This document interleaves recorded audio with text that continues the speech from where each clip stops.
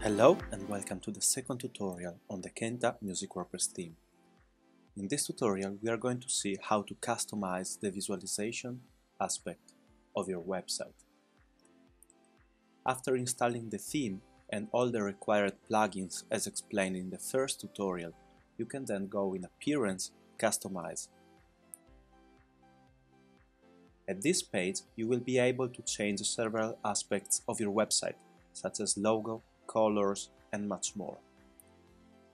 Your changes are going to be visible in real time in this side of the screen. We are going to see now, one by one, all the different sections of your customizer and see how they work. First of all, we have global settings.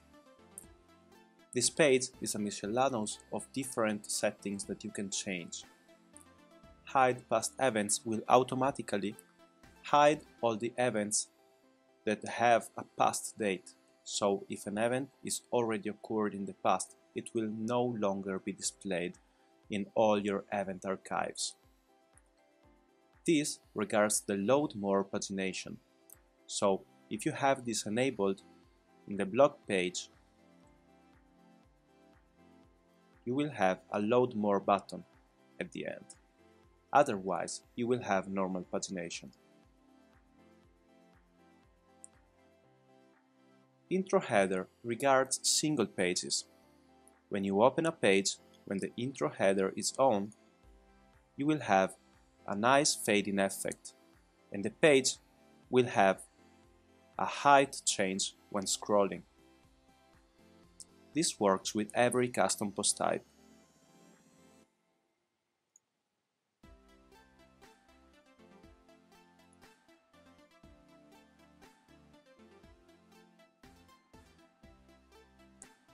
Breadcrumb is regarding this part of the website. So if we go in any page that is not the home page, you will see the breadcrumb appearing at the top of the page. You can hide or show it using this switch.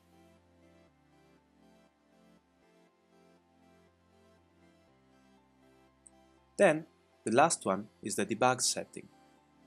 This is very useful if you are a developer or if you are having any problem with some foreign plugin that is causing any conflict with your website. When we enable debug settings, every JavaScript file is going to be loaded as a separate file instead of a one single minified file. Normally, debug settings are off. If you are seeing any error in the customizer, in the debugger, or anywhere else after activating any plugin or you want to create your own version of the JavaScript files, you can enable the debug setting and the function.php will automatically load a separated non-minified version of the JavaScript files for this theme. For normal usage, it is recommended to leave this off. Then we have site identity, and these are the normal settings that you can use as website title, tagline, which actually is not displayed anywhere in this theme, and site icon. Header and menu style. This is where you can change the logo. If you remove it, the website title will appear and then you can choose different menu style. This is centered and this is the default one with logo on the left and menu items on the right.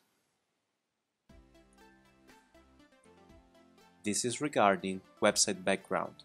It is possible to load a default picture that will appear as background for all the pages that doesn't have a specific background.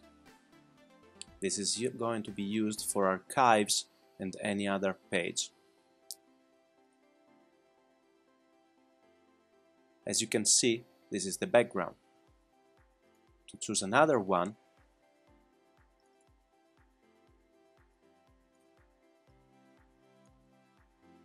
you can just drag your picture there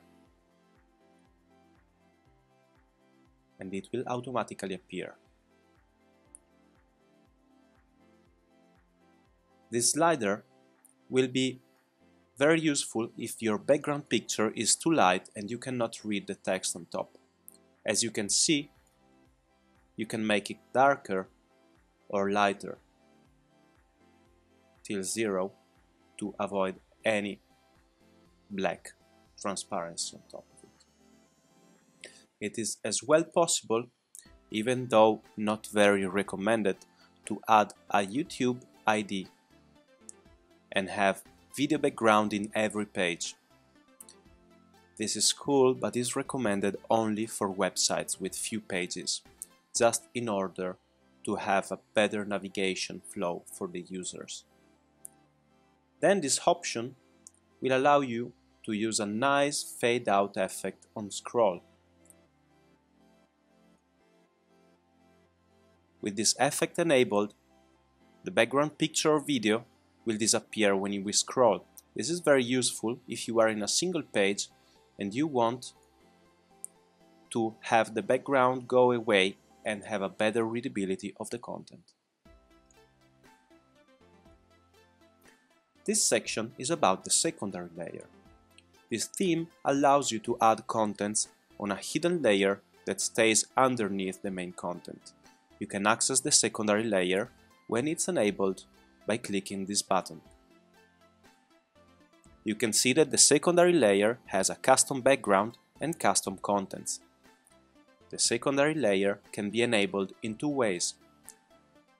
Switching on this option or adding a menu to the secondary layer menu slot that we will see further on. So if you have a menu in the secondary layer, it will be visible even if this option is turned off. This other option will allow you to use negative colors. This is useful if your background has a picture.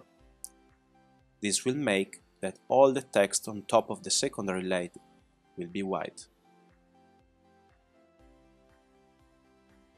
This will make that all the contents on top of the secondary layer will have a light color. This slot is to change the background picture of the secondary layer. The secondary layer cannot have a video background. Then you have the possibility to add special contents including shortcodes to your secondary layer. You can edit these contents directly here or in text mode. Use any shortcode you want or in alternative go to appearance widgets and you can add some widgets here.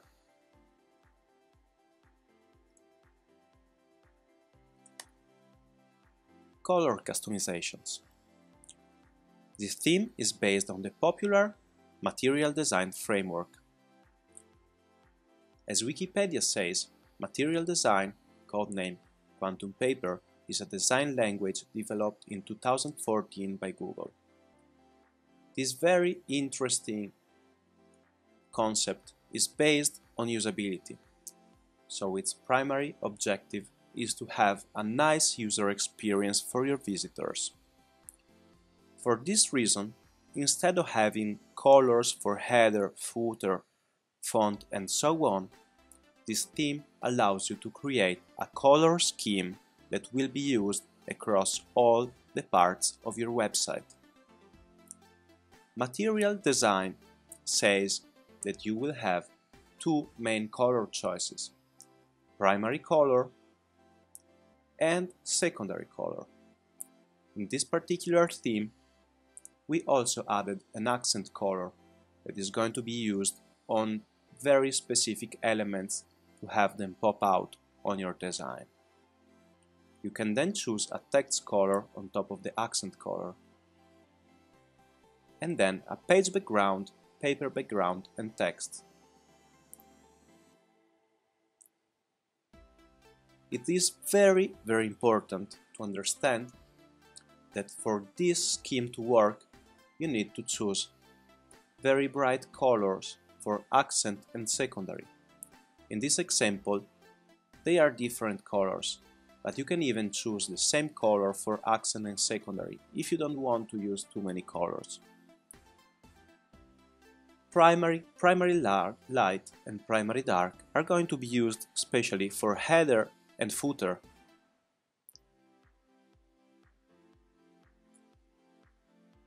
In this part, you can choose the color for the normal pages and paper background which is used particularly on cards and content elements. The text is going to have the same color on top of paper and on top of the page, so please pay attention to not choose white page background, black paper and white text, because this will work if you are writing on top of paper but will not work if you're writing white on top of a white page background. So it's very recommended to have similar colors for page and paper and a high contrast color for the text. The last option is about the menu text. When not scrolled, you can customize the color of the menu text by changing this option.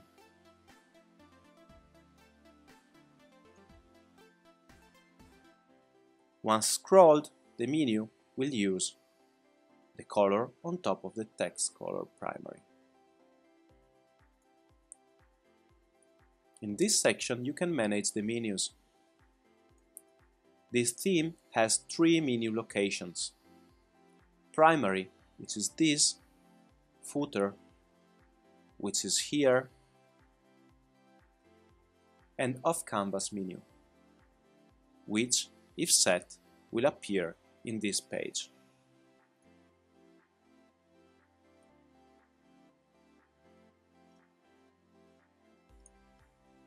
We can then restore the default color for the menu text. If you want this to use accent color, you can delete the option completely and leave it empty. Typography option.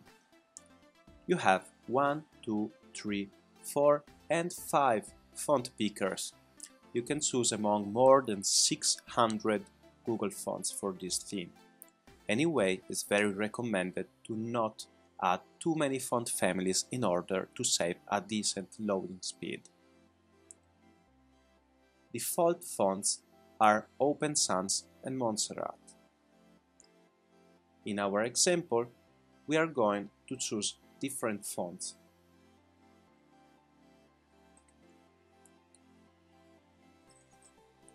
For example, we are going to use for the text a Titillium Web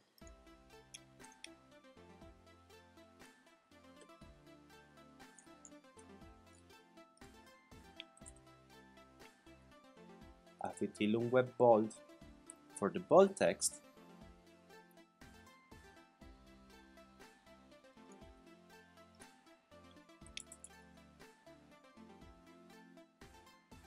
A Rubik Mono 1 for the headings.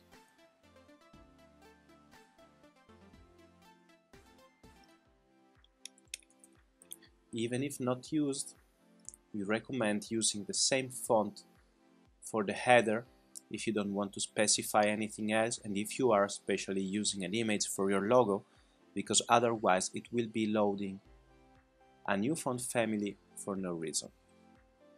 Then you can specify another font family for all the buttons and menus and similar.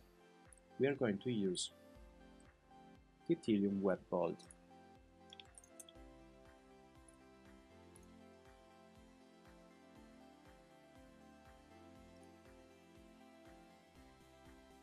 And here we go.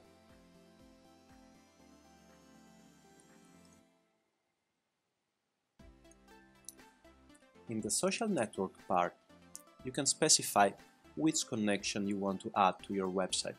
As you can see, you have a lot of very professional websites like Beatport, SoundCloud, Juno, Mixcloud, MySpace, Snapchat, Spotify, Track It Down, and other very music related social network that you will not find in most of the other websites. Then it comes to the footer customization.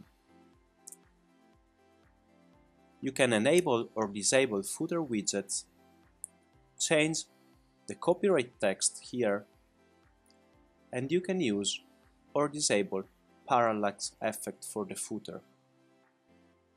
To change the background of the footer, you can upload your picture here.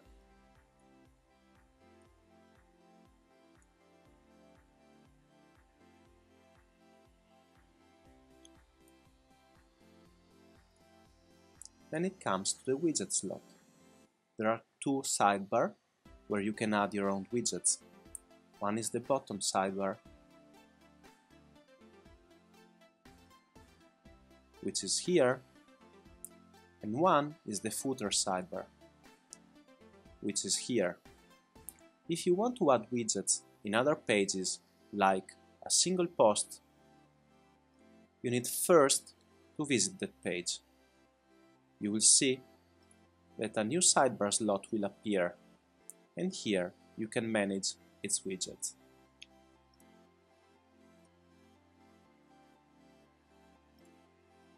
Here you can change the homepage settings. It is recommended to not set a post page. Why? Because our blog archives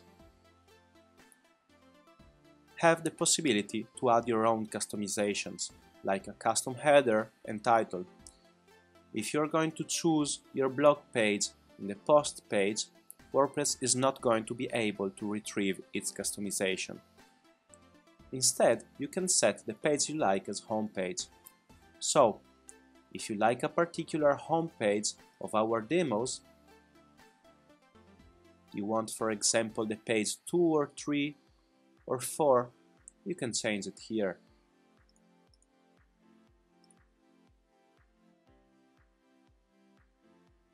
And this is our new homepage. In this section, you can add your own custom CSS. Please be careful with this option because this is for developers and is recommended to hire one if you are not able to create CSS. Once you're done, remember to click Publish. With this phase, the customization are going to be saved and we can move on to the content creation. Thank you for watching and see you on the next video tutorial.